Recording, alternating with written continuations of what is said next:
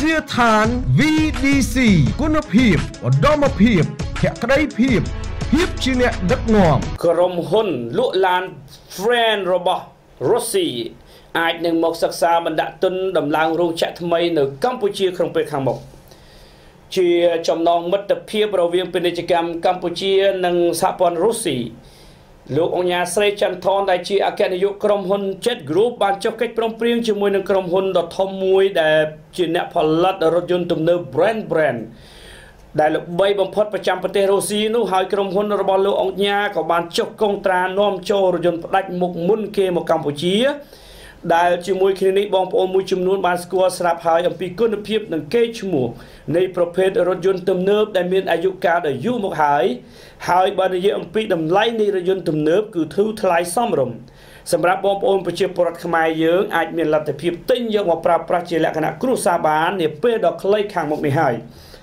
គូបញ្ជាក់ផងដែរថាក្រុមហ៊ុនដ៏ធំនិងល្បីល្បាញរបស់រុស្ស៊ីបានចាប់អារម្មណ៍នឹងសន្យាទៅលើការសិក្សាទីផ្សារនៅកម្ពុជា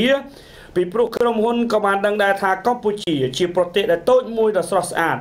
បរិយាកាសអំណោយផលទីផ្សារមានសក្តានុពលធំពិសេសកម្ពុជាកំពុងបោះពួយជំរុញទៅលើការអភិវឌ្ឍលើគ្រប់វិស័យហើយមានអ្នកវិនិយោគធំធំជាច្រើន ប្រទេសកំពុងតែបណ្ដាក់ទុនវិនិយោគបន្តបន្តផងដែរក្រោមការដឹកនាំដ៏ឆ្លៀសវៃរបស់សម្ដេចអគ្គមហាសេនាបតីតេជោហ៊ុនសែនដែលកំពុងតែប្រែក្លាយកម្ពុជា